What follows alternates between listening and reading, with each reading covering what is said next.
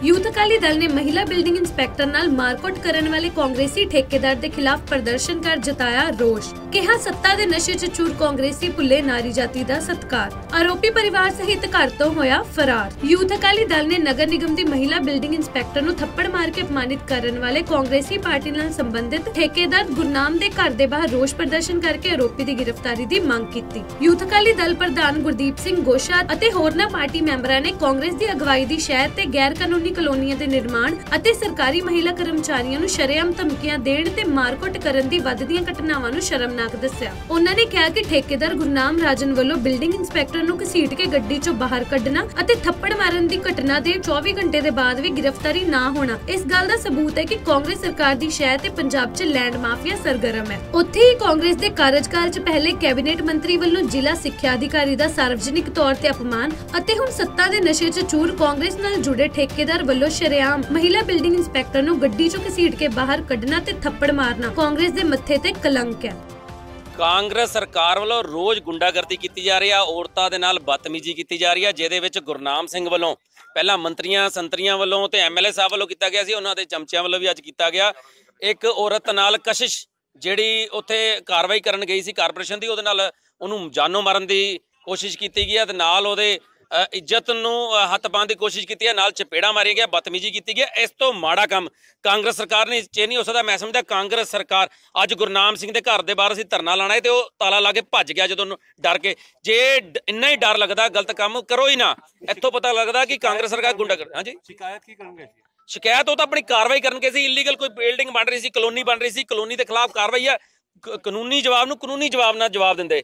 ਪਰ ਇੱਥੋਂ ਪਤਾ ਲੱਗਦਾ ਵੀ ਕਾਂਗਰਸ ਸਰਕਾਰ ਦੇ ਵਿੱਚ ਔਰਤਾਂ ਸੁਰੱਖਿਅਤ ਨਹੀਂ ਹੈ। ਅੱਜ ਕੋਈ ਇਹ ਪਹਿਲੀ ਵਾਰ ਨਹੀਂ ਹੋ ਰਿਹਾ ਕਿ ਪੰਜਾਬ ਦੇ ਵਿੱਚ ਔਰਤ ਨਾਲ ਇਹ ਕੁਝ ਹੋ ਰਿਹਾ। ਕਦੇ ਤਾਂ ਐਸਐਚਓ ਲੇਡੀ ਅਫਸਰ ਫਾਜ਼ਿਲਕਾ, ਉਹ ਜੁੱਲੀ ਬਿਸਤਰੇ ਵਾਲਾ ਜਿਹੜਾ ਐਮਐਲਏ ਆ, ਉਹ ਬੇਇੱਜ਼ਤੀ ਕਰਦਾ।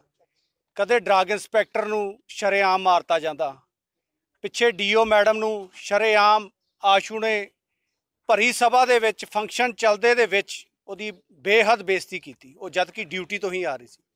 ਉਹ ਕਹਿੰਦਾ ਵੀ ਮੇਰੇ ਆਉਣ ਤੋਂ ਪਹਿਲਾਂ ਕਿਉਂ ਨਹੀਂ ਪਹੁੰਚੀ? ਮੰਤਰੀ ਦੀ ਬੇਇੱਜ਼ਤੀ ਹੈ ਇਸ ਗੱਲ 'ਚ। ਹੁਣ ਅੱਜ ਜਿਹੜਾ ਕਾਂਗਰਸੀ ਗੁਰਨਾਮ ਸਿੰਘ ਹੈ ਕੋਲੋਨਾਈਜ਼ਰ ਆ, ਜਿਹਦੇ ਨਾਲ ਤੁਸੀਂ ਕੈਪਟਨ ਸਾਹਿਬ ਦੀਆਂ ਫੋਟੋਆਂ ਦੇਖ ਰਹੇ ਹੋ। ਅੱਜ ਇਹ ਐਡੀ ਵੱਡੀ ਸ਼ਹਿ ਹੈ ਇਹਨਾਂ ਨੂੰ, ਆਪਣੀ ਸਰਕਾਰ ਦੀ। ਇੱਕ ਬਿਲਡਿੰਗ ਅਫਸਰ, ਲੇਡੀ ਕਸ਼ਿਸ਼, ਸਾਡੀ ਭੈਣ, ਇਹ ਉੱਥੇ ਆਪਣੀ ਡਿਊਟੀ ਤੇ ਗਈ।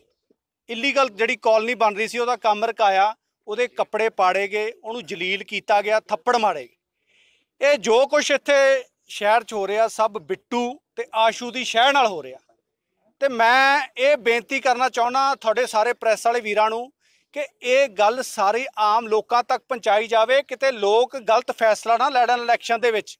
ਇਹ ਬਿੱਟੂ ਵਰਗਿਆਂ ਨਾਲ, ਆਸ਼ੂ ਵਰਗਿਆਂ ਨਾਲ ਜੋ ਇਹਨਾਂ ਨੇ ਬਦਮਾਸ਼ੀ ਕੀਤੀ ਆ, ਇਹਨਾਂ ਨੂੰ ਇਹਦਾ ਸਬਕ ਜਿਹੜਾ ਲੋਕਾਂ ਨੇ ਇਲੈਕਸ਼ਨ 'ਚ ਹੀ ਦੇਣਾ ਹੁੰਦਾ, ਕਿਉਂਕਿ ਲੋਕਾਂ ਦਾ ਜਿਹੜਾ ਫਤਵਾ ਹੁੰਦਾ, ਉਹ ਇਲੈਕਸ਼ਨ 'ਚ ਹੀ ਹੁੰਦਾ।